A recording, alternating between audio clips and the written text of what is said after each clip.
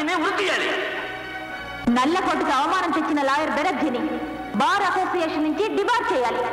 అతను లా డిగ్రీని రద్దు చేయాలి. అతని పక్కన నడిస్తే మనల్ని కూడా హంతకులు చూసినట్టు చూస్తారు.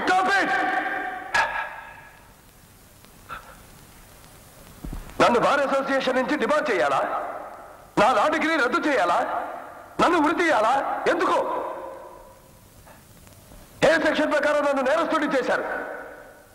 యాక్షన్ ప్రకారం నన్ను దోషిగా చూస్తున్నారు. నువ్వు శోభరాత్రిని హత్య చేశావు. నువ్వు పనులను మర్డర్ చేశావు. నువ్వు దుర్గాని దారుణంగా చంపేశావు.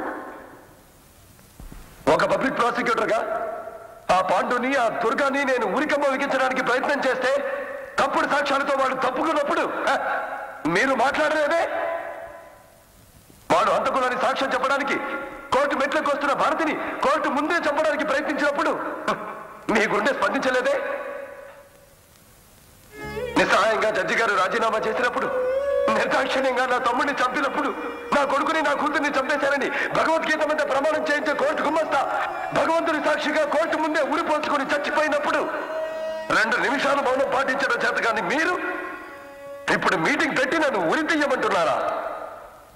రౌడీని రౌడీ అని రాయడానికి పేపర్లకు ధైర్యం చాలని ఈ రోజుల్లో గూండాన్ని గూండాని చెప్పడానికి పోలీసులకు గుండె ధైర్యం చాలని ఈ రోజుల్లో శిక్షించాల్సిన అంతకుల్ని రక్షించడానికి ప్రయత్నిస్తున్న ఇలాంటి లాయర్లున్న ఈ రోజుల్లో రాజకీయ స్వార్థం కోసం రౌడీలను ఎమ్మెల్యేలని ఎంపీలని మేయర్లని చేస్తున్న ఈ రోజుల్లో ప్రజాస్వామ్యాన్ని ఎలా బ్రతికించాలి?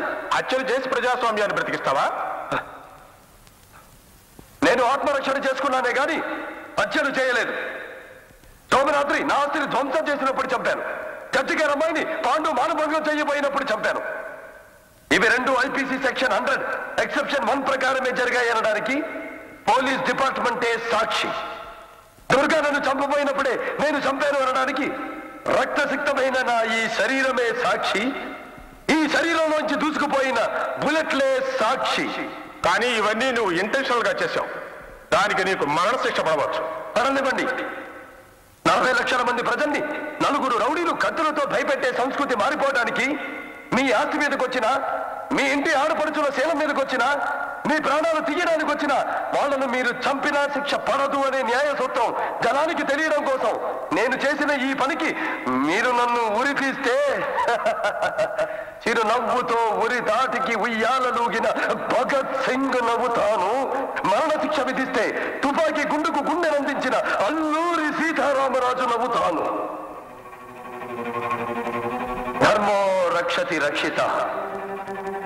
ధర్మక్షేత్ర స్థాపనార్థం కురుక్షేత్రం చేసిన ఈ ప్రాణం జాతికి అంకితం.